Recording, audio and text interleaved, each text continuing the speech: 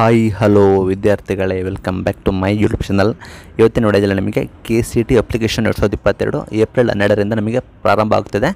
Application ಹಾಕೋಕ್ಕೆ ಯಾವೆಲ್ಲ important documents ಬೇಕು, ಏನೆಲ್ಲ ಇಂಪಾರ್ಟೆಂಟ್ ಬೇಕು, ಅದ್ರ ಬಗ್ಗೆ ಕಂಪ್ಲೀಟ್ ಮಾಹಿತಿನ ವಿಡಿಯೋದಲ್ಲಿ ತಿಳಿಸ್ಕೊಡ್ತೀನಿ. ಅದಕ್ಕಿಂತ ಮುಂಚೆ ನೀವರು ಫಸ್ಟ್ ಟೈಮ್ ನಮ್ಮ ಚಾನಲ್ ನೋಡ್ತಾ ಇದ್ದಾರೆ ದಯವಿಟ್ಟು ಸಬ್ಸ್ಕ್ರೈಬ್ ಆಗಿ ಸಬ್ಸ್ಕ್ರೈಬ್ ಆಗಿ ಈ ವಿಡಿಯೋ ನಿಮಗೆ ಖಂಡಿತ ಇಷ್ಟ ಆಗೋದು ಅನ್ಕೋತೀನಿ. ಇಷ್ಟಾದ್ರೆ ಲೈಕ್ನ ಮಾಡಿ. ಇದೇ ರೀತಿ daily K C T related ಎಲ್ಲ ರೀತಿಯ ಅಪ್ಡೇಟ್ಸ್ಗಳು ಕೂಡ ಅಪ್ಡೇಟ್ಸ್ಗಳು ಚಾನಲಲ್ಲಿ ಕೂಡ ಡೈಲಿ ಖಂಡಿತ ಬರ್ತಾ ಹೋಗ್ತದೆ.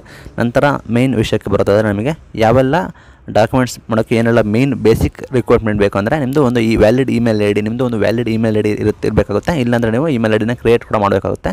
ನಂತರ ಒಂದು ಮೊಬೈಲ್ ನಂಬರ್ ಇರಬೇಕಾಗುತ್ತೆ. ಎಲ್ಲರ ಹತ್ರನೂ ಇದೆ ಅನ್ಕೋತೀನಿ ಮೊಬೈಲ್ ನಂಬರ್ ನಂತರ ಎಕ್ಸಾಮ್ ಸಿಟಿ ಪ್ರಿಫರೆನ್ಸ್ ಮಾಡಬೇಕಾಗುತ್ತೆ. ನಿಮಗೆ ಯಾವ ಸಿಟಿಲಿ ಎಕ್ಸಾಮ್ ಬರೆಯೋಕ್ಕೆ ನೀವು ಇಚ್ಛೆ ಪಡ್ತೀರಾ ಅಂತ. ನಂತರ ನೋಡಿ ನೀವು ಪಾಸ್ವರ್ಡ್ನ ಕ್ರಿಯೇಟ್ ಮಾಡಬೇಕಾಗುತ್ತೆ. ಅದನ್ನು ನಾವು ಮಾಡ್ಬೋದು ನೀವು.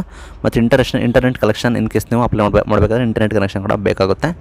ನಂತರ ನಾವು ಯಾವೆಲ್ಲ ಲಿಸ್ಟ್ ಆಫ್ ಸ್ಕ್ಯಾನರ್ ಡಾಕ್ಯುಮೆಂಟ್ಸ್ಗಳು ನಿಮಗೆ ಬೇಕಾಗುತ್ತೆ ಅಂತ ಹೇಳಿದ್ರೆ ಇದು ಇಂಪಾರ್ಟೆಂಟ್ ಆಗಿರುತ್ತೆ. ರೀಸೆಂಟ್ ಪಾಸ್ಪೋರ್ಟ್ ಸೈಜ್ ಫೋಟೋ ನಿಮ್ಮದು ರೀಸೆಂಟ್ ಆಗಿರೋ ಪಾಸ್ಪೋರ್ಟ್ ಸೈಜ್ ಫೋಟೋ ಇಂಪಾರ್ಟೆಂಟ್ ಆಗಿ ಬೇಕಾಗಿರುತ್ತೆ. ನಂತರ ನೋಡಿ ನಿಮ್ಮ ಸಿಗ್ನೇಚರ್ನ ತಗೊಳ್ತಾರೆ. ಇನ್ ಕೇಸ್ ನೀವೇ ಓನಾಗಿ ಅಪ್ಲೈ ಮಾಡೋದಾದರೆ ನೀವು ಸಿಗ್ನೇಚರ್ನ ತಗೊಬೇಕಾಗುತ್ತೆ ಇಲ್ಲ ನೀವು ಸೈಬರ್ ಸೆಂಟ್ರಲ್ಲಿ ಅಪ್ಲೈ ಮಾಡ್ತಿದ್ದಾರೆ, ನೀವು ನಿಮ್ಮ ಸಿಗ್ನೇಚರನ್ನು ಕೊಡಬೇಕಾಗುತ್ತೆ. ಅವರು ನಿಮ್ಮ ಏನೇನು ಬೇಕು ಎಲ್ಲ ಇಸ್ಕೊಂಡು ಅವರು ಕೂಡ ಅಪ್ಲೈ ಮಾಡ್ತಾರೆ. ನಂತರ ಬಂದ್ಬಿಟ್ಟು ನಿಮ್ಮದು ಲೆಫ್ಟ್ ಹ್ಯಾಂಡ್ ತಮ್ಮ ಇಂಪ್ರೆಷನ್ ನಿಮ್ಮದು ಲೆಫ್ಟ್ ಹ್ಯಾಂಡ್ ತಮ್ಮ ಇಂಪ್ರೆಷನ್ ಕೂಡ ಕೊಡಬೇಕಾಗುತ್ತೆ. ಅದನ್ನು ಕೂಡ ಅವರು ತಗೊಳ್ತಾರೆ ಇನ್ ಕೇಸ್ ನೀವು ಅಪ್ಲೈ ಮಾಡಿದ್ರೆ.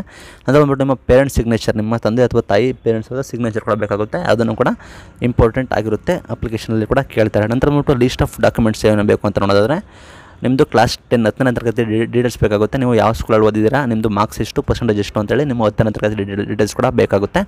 ನಂತರ ಬಂದ್ಬಿಟ್ಟು ನಿಮ್ಮದು ಒಂದರಿಂದ ಒಂಬತ್ತನೇ ತರಗತಿ ಕೂಡ ಡೀಟೇಲ್ಸ್ ಕೂಡ ಕೇಳ್ತಾರೆ. ನೀವು ಒಂದರಿಂದ ಒಂಬತ್ತನೇ ತರಗತಿವರೆಗೂ ಎಲ್ಲೆಲ್ಲಿ ಓದಿದ್ದೀರಾ ಅಂತ ಅದು ಕೂಡ ಬೇಕಾಗುತ್ತೆ.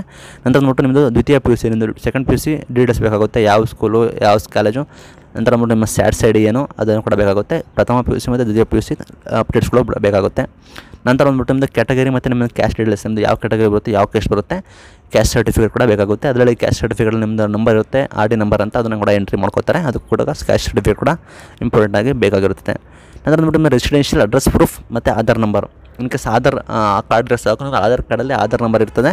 ನಂತರ ಆಧಾರ್ ಕಾರ್ಡಲ್ಲಿ ನಿಮ್ಮ ರೆಸಿಡೆನ್ಷಿಯಲ್ ಅಡ್ರೆಸ್ ನೀವು ಎಲ್ಲಿ ವಾಸ ಇದ್ದೀರಾ ಅಂತೇಳಿ ಒಂದು ಪ್ರೂಫ್ ಆಗಿ ಅಡ್ರೆಸ್ ಇರುತ್ತೆ. ಆಧಾರ್ ಕಾರ್ಡ್ ಅಥವಾ ರೇಷನ್ ಕಾರ್ಡ್ ಯಾವುದಾದ್ರು ಇದ್ರೆ ಸಾಕು.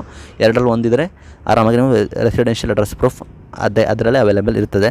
ನಂತರ ನೋಡಿ ಇನ್ ಕೇಸ್ ನೀವು ಪಿ ಎಚ್ ಕ್ಯಾಂಡಿಡೇಟ್ ಆದರೆ ನಿಮ್ಮದು ಸರ್ಟಿಫಿಕೇಟ್ ಕೂಡ ಬೇಕಾಗುತ್ತೆ ಇದು ಇವತ್ತಿನ video thank you for watching ಸಿಗೋಣ.